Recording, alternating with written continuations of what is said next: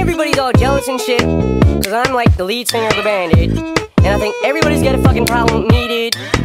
And they need to take it up with me after the show. Because these chicks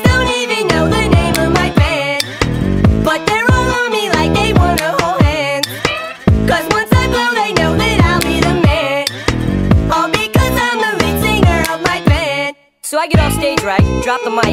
Walk up to these hot chicks and I'm all like, What's up, ladies? My name's Slim Shady. I'm the lead singer of D12, baby. They're all like, Oh my god, it's him. Becky, oh my fucking god, it's him. I swear to fucking god, dude, you fucking rock. Please, watch Marshall, please let me suck your cock. Now by now, the rest of the fellas get jealous. Especially when I drop the beat and do my acapellas. All the chicks start yelling, all the hot babes. So the bras and the shirts and the panties on stage. So like every single night they pick a fight with me. But when we fight, it's kinda like sibling rivalry. Cause they're back on stage the next night with me. Trying to steal the light from me. Yesterday, Kuniva tried to pull a knife on me. Cause I told him Jessica Alba's my wife to be. This rock star shit is a life for me. And all the other guys just despise me because these chicks don't even know the